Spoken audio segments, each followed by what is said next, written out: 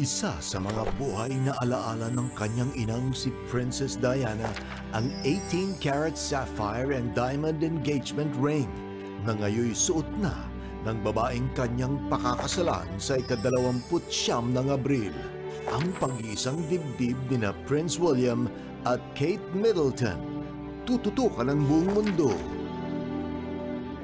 At ng GMA, The Royal Wedding ngayong Abril.